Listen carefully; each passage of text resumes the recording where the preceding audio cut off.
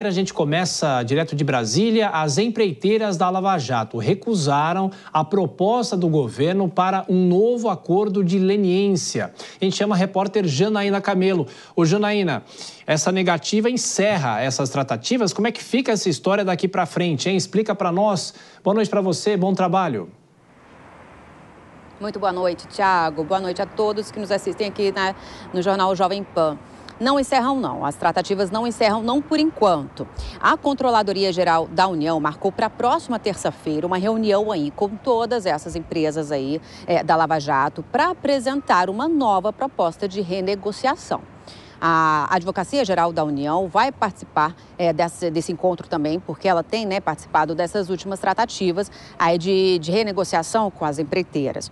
Essa agenda ela foi marcada depois dessa recusa aí das empreiteiras desse, do último acordo proposto aí pelo governo, que é de 30% em cima é, da multa atual, do saldo atual de multa.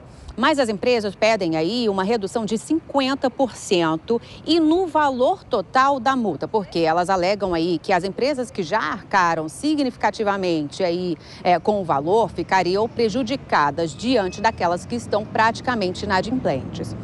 Bom, quem tem intermediado essas negociações é o ministro André Mendonça, do Supremo Tribunal Federal, porque ele é o relator da ação né, que questiona aí a legalidade da, dos acordos de leniência que foram firmados, uma ação que foi apresentada no ano passado por partidos políticos, é, pelo PSOL, pelo PCdoB, pelo Solidariedade, aí, dizendo que esses acordos eles são ilegais porque eles foram firmados, celebrados antes do acordo de cooperação técnica que justamente sistematiza todas as regras aí desses procedimentos, desse tipo de procedimento.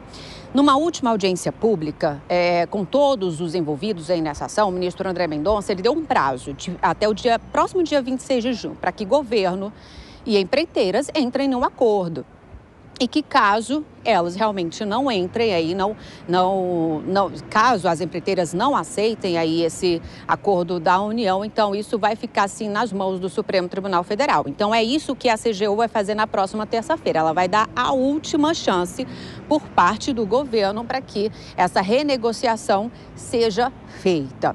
Bom, é, na última quarta-feira, Tiago, os advogados da Andrade Gutierrez, por exemplo, eles peticionaram nessa ação aí um pedido de uma nova audiência, é, argumentando aí, alegando que estão tendo dificuldades realmente com as propostas, com as tratativas aí com o governo federal. A gente até tem essa, um trecho aí dessa ação é, desse, dessa manifestação, na verdade, onde a defesa da empreiteira diz o seguinte, que as posições das partes seguem consideravelmente distantes e que a maior parte dos pedidos formulados pela companhia segue sendo rejeitada pelas autoridades por estarem aí fundamentadas em questões jurídicas relevantes, como, por exemplo, a equiparação com os parâmetros praticados pelo governo em acordos mais recentes e em mudança de entendimento de órgãos de controle. Nessa mesma audiência, na última audiência que aconteceu é, com o ministro André Mendonça, a CGU e a AGU apresentaram aí um resumo, uma análise sobre a situação contábil das empreiteiras. E aí, com isso, diante do resultado que elas verificaram, elas disseram aí, argumentaram que sim, as empresas têm condições de arcar com essas multas. Tiago. Isso então na terça-feira, uma nova rodada de negociações. Janaína Camelo com as informações do Judiciário. Bom trabalho para você. Até mais tarde. Vou chamar já os nossos comentaristas, Dora Kramer e Cristiano Vilela. Ô Dora, deixa eu pedir licença para você para começar pelo Cristiano, para eles nos, nos, traduzir esse juridiquês aqui. E a Janaína fala que isso pode acabar no Supremo. Por que, há tanta dificuldade de se fazer essa negociação? Ainda é bom lembrar a reboque da Operação Lava Jato. Cristiano Vilela, boa noite. Boa noite, Tiago. Boa noite, Dora e todos que acompanham o Jornal Jovem Pan. Olha, esse é um tema que ainda vai dar realmente muito o que falar. É, esse caso, essa análise, essa avaliação, se os acordos de leniência que foram firmados lá atrás na Operação Lava Jato, se eles estão em termos adequados e quais seriam os termos adequados, estão no Supremo Tribunal Federal para análise sobre relatoria do ministro André Mendonça. No entanto, o ministro abriu um prazo entre as partes, entre as empresas, o governo federal, para que pudessem fazer tratativas. E o governo apresentou uma tratativa, uma proposta que foi considerada extremamente dura, excessiva por parte das empresas. E aí é que fica a expectativa de que até o dia 26 de junho, que é o prazo dado pelo ministro, as partes eventualmente possam fazer novas conversas para tentar aproximar. Mas o que pedem as empreiteiras e o que quer o governo ainda está muito distante é difícil que em cerca de 12 dias tenhamos a condição de chegar num bom termo. Pois é, Dora, ainda os efeitos da Lava Jato e é o que a gente sempre cita, né? No caso, a leniência é a delação premiada das empresas. Isso parece que nunca vai ter fim. Boa noite, bem-vinda.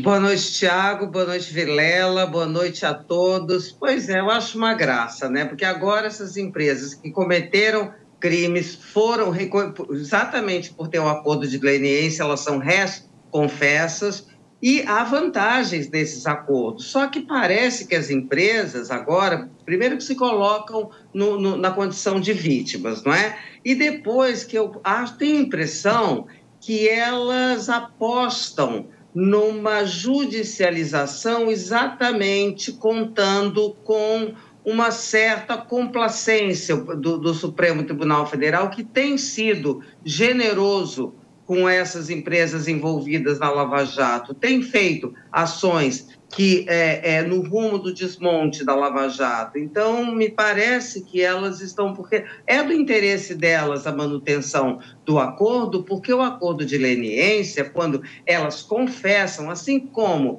a pessoa que faz a delação premiada tem os benefícios, as empresas também têm uma série de benefícios. Elas podem é, voltar a receber incentivos do governo, podem contratar, fazer uh, contratos com o governo, e isso é importante. Tanto é importante que quando o ministro Dias Toffoli derrubou as provas lá da, relativas à Odebrecht, ele não mexeu no acordo de leniência. A Odebrecht, que agora chama Novo também não quis mexer no acordo de leniência porque não quer perder as vantagens desse acordo. Agora, quando elas se confrontam dessa maneira com o governo, é um indicativo daquilo que eu suspeito que elas estão contando com a generosidade do Supremo Tribunal Federal.